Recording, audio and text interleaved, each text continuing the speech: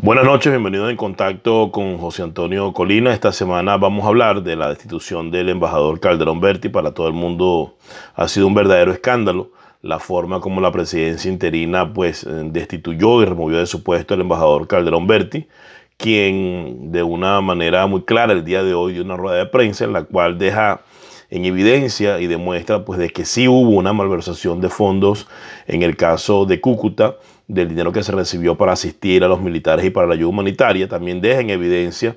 de que la información la filtró o la dio a entender los organismos de inteligencia de Colombia. Y también deja en evidencia pues que eh, no hay una postura clara por parte de la presidencia interina, primero para atender estos casos de corrupción que ya son muchos los que se han ido mencionando y nombrando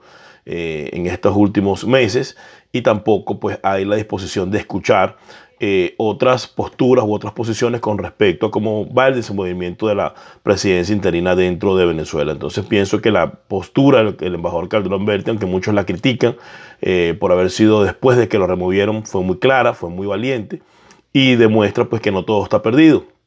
Creo claramente que los países de la comunidad internacional tienen que ver con mucho detenimiento lo que ha ocurrido hasta el momento eh, con esta presidencia interina, tienen que ver con mucho detenimiento lo que ha ocurrido con los recursos que se han manejado de manera privada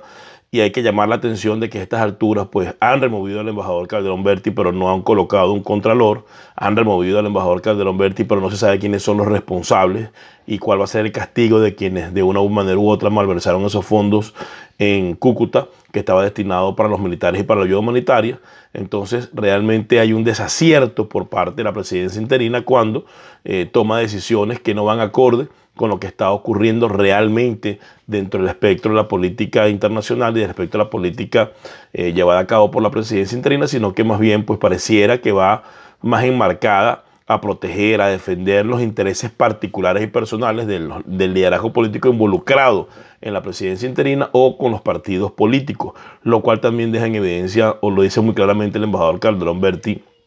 en su alocución que dio en la mañana de hoy desde, desde Bogotá, Colombia. Entonces creo y estoy convencido de que le corresponde a la ciudadanía hacer una presión eh, fuerte y necesaria para que esta presidencia interina que muchos reconocimos no siga cometiendo los errores que ha llevado adelante hasta ahora y trate de enmendar el camino, aunque creo se le está haciendo un poco tarde porque ya no goza de la credibilidad, ya no goza de la confianza, ya no goza realmente del respaldo de la mayoría de los venezolanos y pareciera que estuviéramos entrampados entre un usurpador, que es el caso de Nicolás Maduro, a quien ya todos detestamos, a quien todos denunciamos, a quien ninguno reconocemos como presidente de Venezuela, y una presidencia interina pues que está más eh, pendiente o está más cercana de sus beneficios particulares y personales, hablando desde el punto de vista partidista e individual de cada quien, que de los objetivos pues, de, de, la mayoría de los venezolanos, como es el caso de sacar a la tiranía de Nicolás Maduro en el poder. Muy lamentable que la destitución del embajador Calderón Berti se dé eh, claramente eh, y en un momento muy inesperado, sobre todo cuando eh, los cancilleres el día lunes se van a reunir, o el lunes o martes, en Colombia para tratar el asunto del TIAR, de cómo van a ser las sanciones y qué posturas van a tener. Creo que ha sido una decisión desafortunada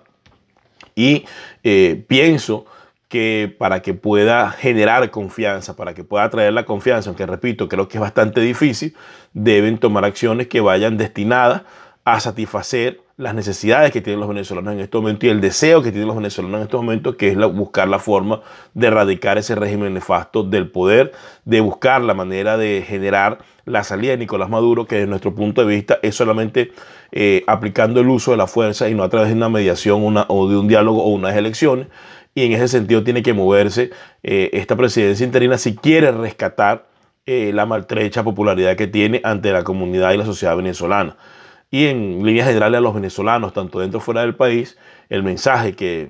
les envío, que le envío como organización, es que ya tenemos que buscar la manera de hacer lo, lo necesario para que estos elementos sean sometidos al escarnio público, tanto al régimen de Maduro como los que no, los, como los que le colaboran desde las filas de la oposición, y comenzar a ser responsable pues a aquellos opositores que por una postura personal que por una postura eh, individualista, pues no están haciendo lo necesario para lograr el cese de la usurpación y sacar esa, a esa tiranía del poder. Creo que es el momento de que el ciudadano común, así como le ha exigido a Nicolás Maduro, así como le ha exigido a esa tiranía, la cual no ha cumplido, también debe comenzar a exigirle con mucha fuerza y con mucha vehemencia al liderazgo político del país, de forma tal de que pueda enmendar el camino o en su defecto pues tiene que ser erradicado y emerger un nuevo liderazgo que esté en concordancia o en sintonía con el pueblo venezolano y esté en sintonía en lograr el objetivo que todos queremos que es el cese de la usurpación, que Nicolás Maduro se vaya del poder para que pueda venir un gobierno de transición y eventualmente después de eso unas elecciones libres en Venezuela.